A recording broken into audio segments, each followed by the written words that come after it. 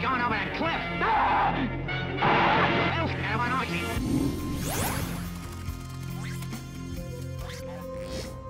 Prince of Persia The Sands of Time is an action platformer with a main focus on the manipulation of time itself. this game is a masterpiece, and I think the games industry owes a lot to this game for actually pushing it forward, and in this episode of Great or Hate, we're going to talk about exactly why. So let's not waste any more time. Timestamps are on screen now and also in the description, so spoiler warning from this point onwards, guys. Alright, let's jump right into it. Our story follows the unnamed prince as deep beneath the ruins of a besieged city he finds an ancient dagger that allows him to reverse time at will. Yeah, it's rewind time. Fucking hell, that's a bit OP, isn't it? Well, well, a local vizier who is definitely not evil, honest, convinces the prince to place the dagger into another powerful artifact called the Hourglass of Time, releasing the sands of time inside, killing hundreds of thousands of people and destroying the entire city. Well, fuck. The game then follows the prince's journey to correct this horrific mistake. Along the way, the prince learns to master using the dagger to reverse time, slays a few demon sand bitches by stabbing them right in the sand ass. Oh me arse! And he gets really good at parkour. Parkour, parkour! And conveniently stumbles across a lot of hidden Persian LSD crack dens. Cocaine's a hell of a drug.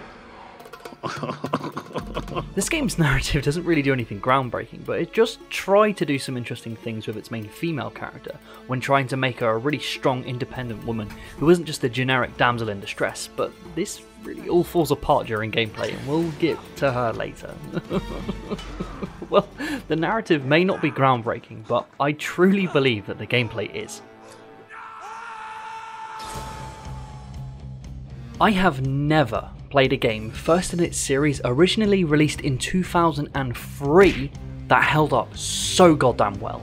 Everything from the animations, soundtrack, and set pieces just blew me the fuck away.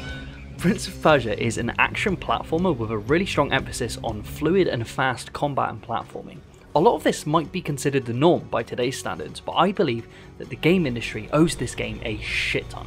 There are a lot of similarities between this game and Batman Arkham Asylum, and a lot of praise goes to Arkham Asylum for being the progenitor of cinematic fluid one button combat, clothes that deteriorate over the hero's journey to show the struggle and progression that character's gone through, and mobs that just fucking sit there and watch you stab their friends to death. Oh no, Dave's being killed. A lot of people say that Batman from 2009 was just copying Assassin's Creed from 2007 in regards to its combat and its fluidity, but Prince of Persia came out all the way back in 2003. But wait, there's more. Both Prince of Persia and Assassin's Creed have the exact same creative director, Patrice Dele... Le, Des... Desilet... Fuck. Croissant.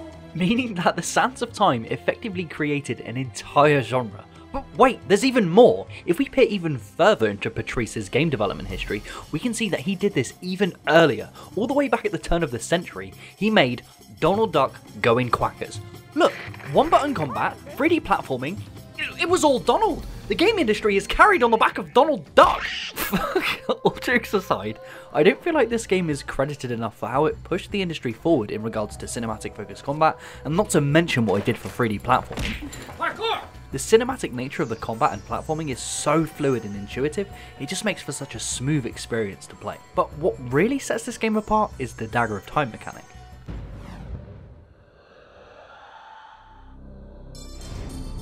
Yeah. So this game's unique selling point is that the prince can reverse time itself. He's going over that cliff.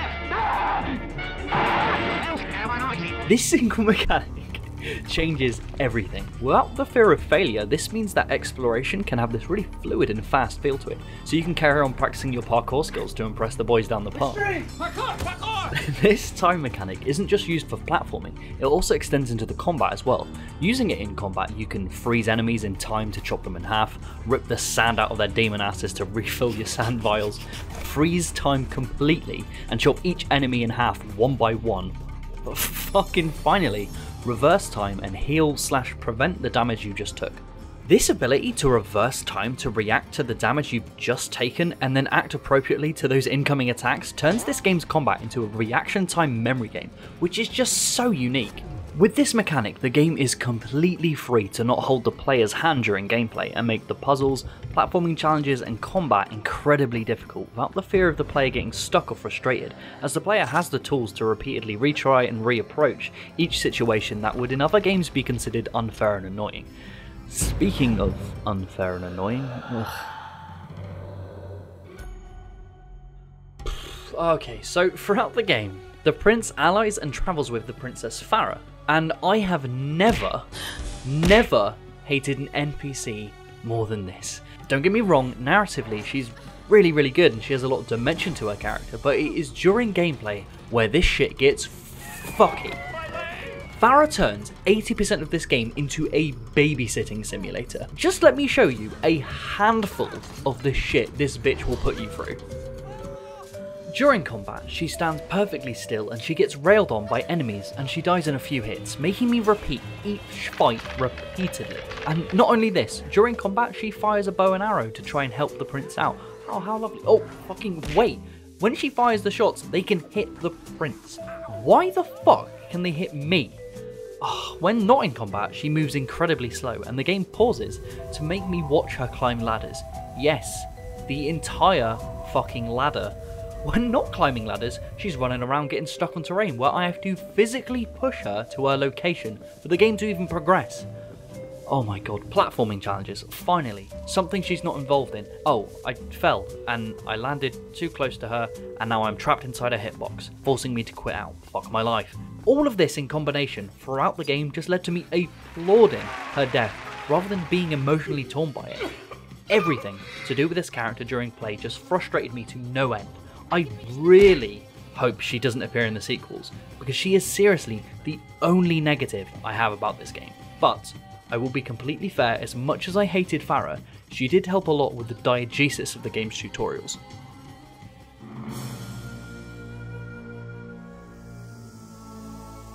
In this section, I'm going to introduce you to diegesis, and as a video game sound designer, the best way I can describe diegesis is through sound itself. When a sound is considered diegetic, it is being produced by something in the game world itself.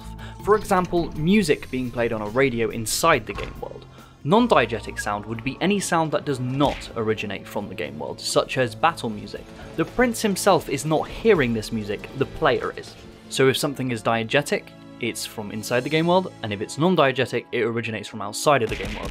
Where this shit gets really cool is how diegesis of the game's mechanics can affect player immersion. Diegetic mechanics or game mechanics that link to something inside the game world itself are inherently more immersive, as it does not take the player mentally out of the game world itself. And this is where Prince of Persia, in my opinion, excels the most, at increasing chances for the player to be immersed, because at all moments it tries to keep all hints, hiccups, and progression diegetic. For example, to heal himself, the prince drinks water, and not just from these predefined water fountains, but he can also drink from any body of water, if the player thinks to try this, further increasing the diegesis of this mechanic. This is fucking awesome. During platforming, the game uses shadows to signify diegetically when you need to jump, and during puzzles, instead of giving hints to the player by popping up an immersion breaking user interface element on the screen, the prince and princess talk to one another and to themselves to hint at what to do. I wonder what this is for. This is a beautiful way of providing diegetic hints that feel natural. During combat, other UI elements such as enemy health bars are avoided by enemy health being indicated by how much sand is pouring out of their bodies, keeping the user interface to a bare minimum. Look at Dead Space for an example of a user interface being 100% diegetic. Oh, my god, it's fucking beautiful. These things might be subtle and go unnoticed by most players, but they really add up to keep the player as immersed as possible. If all of the elements we are interacting with fit and make sense inside the game world, it is feasible to consider that it will be easier for the player to stay immersed in the game world. And Prince of Persia is a wonderful example of this being done beautifully all the way back in 2003. A fuck yes, Prince of Persia. A fuck yes. So guys, after all of this, what is my final verdict for Prince of Persia The Sands of Time overall? Well, for me this game is simply great. Although babysitting Farah made me want to rip my own fucking eyes out, the fluidity of the platforming and combat somehow made playing this game challenging and effortless at the same time. I've never been more excited to cover the sequel to a game more than this. to see if it can follow up on this masterpiece and possibly bin off Farah. well, I guess we'll find out in a future episode.